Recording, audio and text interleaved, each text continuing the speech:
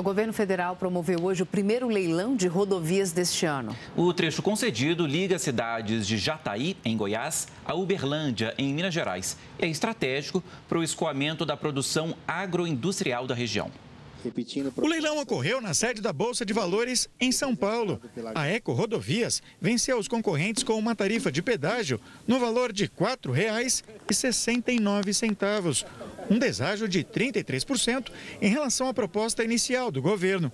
Os 437 quilômetros concedidos das rodovias BR-364 e BR-365 ligam Uberlândia, em Minas Gerais, a Jataí, Goiás. É um corredor importante para a região eh, eh local.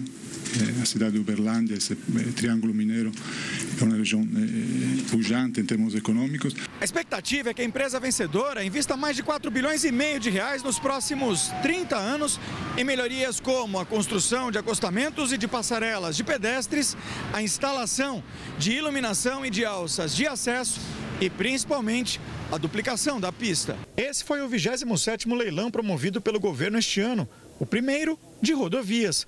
O Ministério da Infraestrutura informou que já existem mais sete processos de concessão de estradas federais praticamente prontos, previstos para o ano que vem. Estamos trabalhando já na estruturação dos outros projetos, dos 4.100 quilômetros do Paraná, estamos trabalhando na estruturação de mais 7.200 quilômetros com o BNDES em rodovias que estão aí espalhadas pelo Brasil inteiro.